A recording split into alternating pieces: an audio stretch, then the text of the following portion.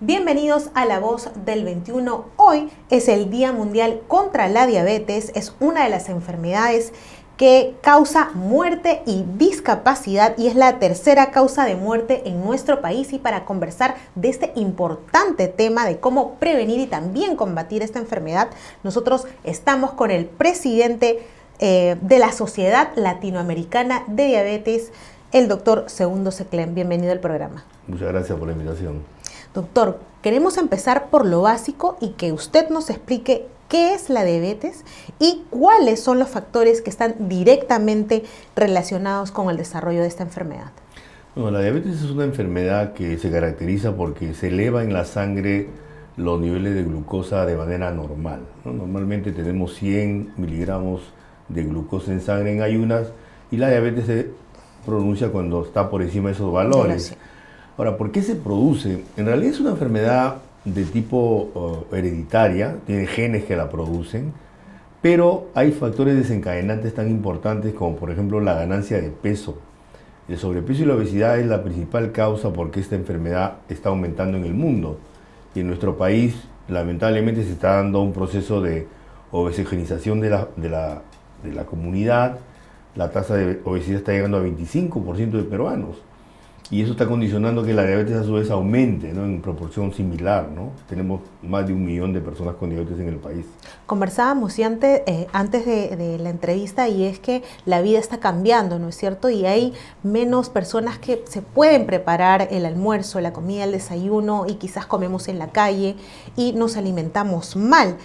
¿Cuál es el grupo de riesgo y cómo saber si yo soy de este, de este grupo? Bueno, en general la, en nuestro país, como también en otros, el principal factor de riesgo es la ganancia de peso, es el aumento de grasa en el cuerpo, que se llama, según los grados, o bien es sobrepeso o bien es obesidad. O sea, el grupo de gente con sobrepeso y, obesidad es el grupo de más riesgo en nuestro país. Luego viene el grupo de, personas que tienen antecedentes familiares de diabetes, ¿no? que tienen papá, mamá, hermanos, tíos. ¿no? En tercer lugar vienen las mujeres que han tenido hijos pesando más de 4 kilos, este, y que generalmente son, son eh, mujeres que han tenido glucosa elevado durante su embarazo y muchas veces no se ha detectado, y dan lugar a niños macrosómicos. Y en cuarto lugar también a mujeres que tienen eh, antecedentes de ovario poliquístico. ¿no? Son los grupos que están más frecuentemente relacionados a diabetes en nuestro país.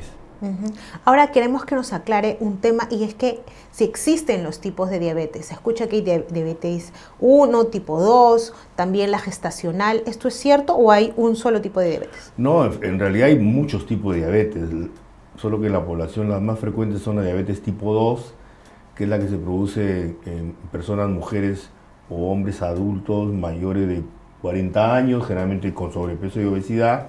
Esos, ese tipo de diabetes más o menos engloba el 40, por, el, perdón, el 90% de la población de personas con diabetes.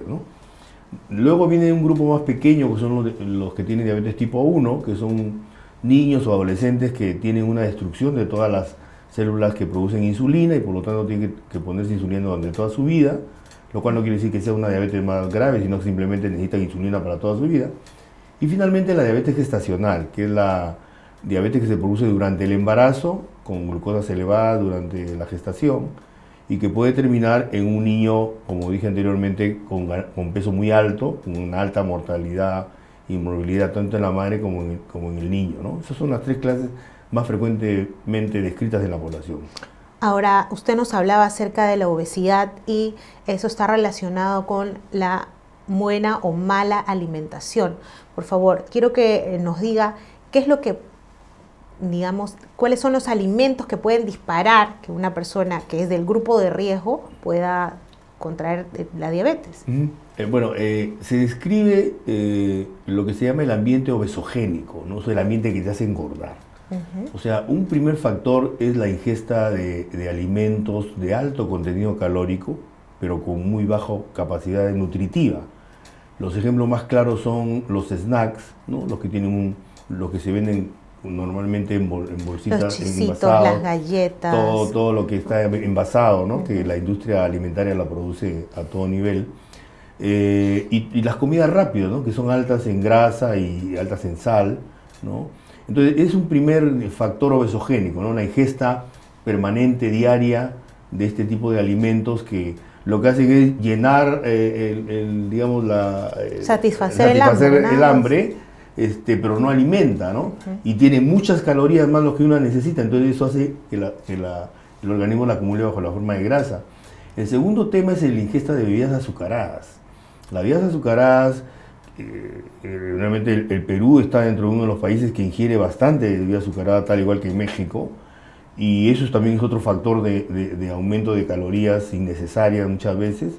Y finalmente la falta de actividad física, ¿no? el, sedentarismo, el poco ejercicio a la cual la población eh, está acostumbrada, es lo que condiciona que las personas comiencen a subir de peso sin que la noten, ¿no? Y, es importante hacer ejercicio.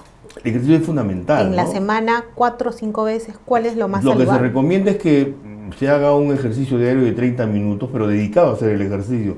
Caminar o trotar, o hacer un poco de baile, ¿no? Siempre es muy importante porque el ejercicio lo que hace, independientemente de consumir calorías, te, baja el estrés también, ¿no? Y permite que la persona pueda desenvolverse correctamente en sus labores, ¿no? Ahora, ¿qué tan peligroso es el azúcar para los que tienen diabetes y para los que no tenemos? Bueno, esa es una pregunta muy importante porque mucha gente piensa que la glucosa eh, eh, elevada no, no, da peligro y, realmente no es así. O sea, se sabe ya desde, mucho tiempo atrás de que la glucosa en exceso es un tóxico para las arterias, ¿no? Produce lo que se llama estrés oxidativo, tanto en vasos pequeños como en vasos grandes. Por eso es que las personas que tienen glucosa elevada, ya sea en la fase prediabetes o en la fase de diabetes, están más expuestas a tener problemas cardiovasculares como por ejemplo infarto al corazón o, derrames en el cerebro o problemas de circulación en los miembros inferiores, pero también eh, problemas relacionados exclusivamente a vasos microvasculares como la, la, retina, la retinopatía diabética, eh, en el riñón, ¿no? la nefropatía que es la causa de, de diálisis, de insuficiencia renal, y finalmente la neuropatía diabética que lleva a que tenga lo que se llama el pie diabético y, una alta tasa de amputaciones. Entonces, la glucosa elevada realmente es un peligro. ¿no? Pero, doctor, nos encanta la, gaseosa, nos encanta los pasteles, ¿no? Los peruanos somos muy dulceros. ¿Qué hacemos? ¿Cómo, cómo podemos dejar reemplazar eh, eh, estos dulces que estamos acostumbrados a comer? ¿Qué hacer?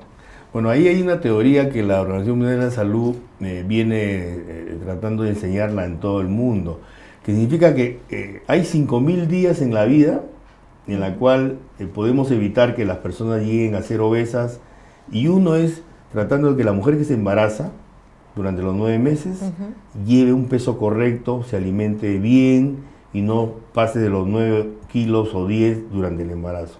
Y luego los dos primeros años de vida del niño tiene que alimentarse en el primer año con leche materna y en el segundo año la introducción de alimentos que no tengan esa palatilidad de mucho azúcar, de mucha grasa, que, ya los niños de pequeños agarran gusto a eso y por lo tanto ya de adultos o de jóvenes ya es imposible poder tenerlo. Es importante eh, las frutas. Claro, o sea, dentro de... O son peligrosas, porque muchos temen comer frutas que sean muy dulces. Hay muchos mitos sobre las frutas. Lo que yo tengo que decir es que la fruta es necesaria tanto para una persona no con diabetes como la persona con diabetes, pero hay que tenerla en su verdadera proporción, ¿no? Eh, la fruta debería ser una especie de postre después del alimento, una manzana, una pera, una toronja, una, naranja. Las uvas. Las uvas. Y el plato saludable es el plato en el cual la mitad del plato tiene que poner verduras, verdes o rojas. Eh, eh, la, la, cuarta parte del plato la harina, que puede ser el arroz, la menestra, el fideo.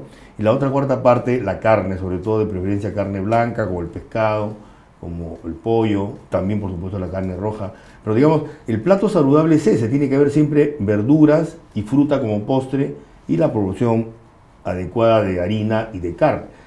Lo que pasa es que, claro, en el Perú creo que todos somos conscientes de que casi el 80% de lo que uno comemos en el plato es carbohidrato. Nos gusta el arroz. Arroz, por ejemplo. El arroz es rico, a mí también me gusta. ¿Qué voy a hacer sin mi arroz? Como digo, eso, eso es una cuestión de educación alimentaria que desde los colegios hay que enseñar a los niños para que puedan llegar pues, a, la juventud y a la adultez con una buena educación alimentaria. ¿no? Doctor, muchas gracias por haber estado en La Voz del 21, pero antes de despedirnos, quiero que nos dé unos pasos que debemos seguir para poder prevenir la diabetes. ¿Cuáles son esos pasos? Bueno, en primer lugar, este, no ganar peso. el, peso es Mantener nuestro peso ideal. Y el peso se mantiene comiendo sano, que significa una producción correcta de verduras y frutas durante el día, disminuir la cantidad de harinas y sobre todo no comer esos alimentos, eh, productos este, envasados que tienen una alta cantidad de calorías. Y ejercicio, ¿no? El ejercicio es vital, ¿no? Tanto para mantener el peso, gastar energías, como para bajar el estrés. Muy bien, entonces es alimentarnos bien, dejar de comer comida chatarra y hacer ejercicios. Por favor, todos a seguir estos pasos para poder prevenir la diabetes. Muchísimas gracias, doctor, por haber estado en La Voz del 21. Muchas gracias por la confianza. Gracias a todos los que se han conectado a la señal de Perú 21 Televisión. Buenas tardes.